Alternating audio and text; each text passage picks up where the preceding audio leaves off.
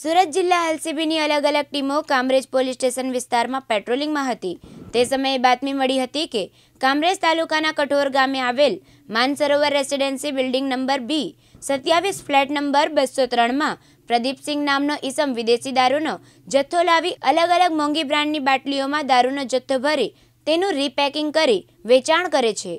આ બાતમીના આધારે પોલીસે તપાસ કરતા મૂળ ઉત્તર પ્રદેશના પ્રતાપગઢ જિલ્લાના કોટિયાનો રહેવાસી પ્રદીપ સંતોષસિંહ ઠાકુર પોતાના ભાડાના ફ્લેટમાં વિદેશી દારૂની ભંગારમાં મળતી અલગ અલગ ઊંચી બ્રાન્ડની વિદેશી દારૂની ખાલી બોટલોમાં હલકી કક્ષાનો દારૂ ભરી તેના ઉપર કંપનીના ઢાંકણ તેમજ લેબલ મારી બોટલ સીલ કરતા રંગે હાથ પકડાયો હતો.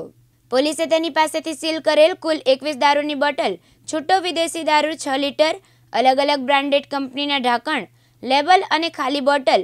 મોબાઈલ કિંમત પાંચ હજાર, રોકડા છ હજાર મળી. કુલ ચોત્રીસ હજાર ત્રણસો એંસીનો રૂપિયાનો મુદ્દામાલ કબજે કર્યો હતો. રમેશ ખંભાતી દિવ્યાંગ ન્યૂઝ, કડોદરા, સુરત.